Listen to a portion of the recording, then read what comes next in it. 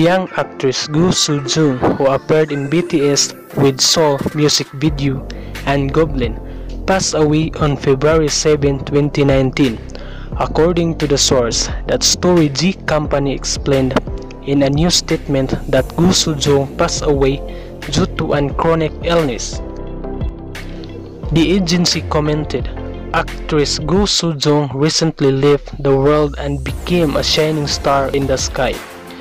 She was an actress with as pure and sweet of a heart as anyone out there, and we will remember her and her bright smile that lit up the world forever.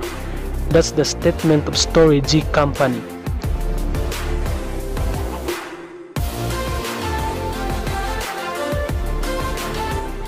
Gu Soo-jung, she caught the eye of Korean entertainment fans when she made her debut in hit TV drama Goblin in 2016.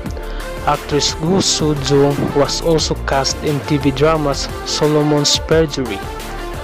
Gu Soo-jung is a South Korean actress. She was born in April 24, 1995. She died on February 7, 2019 at the age of 24. The funeral procession was held privately on February 9 with her family present.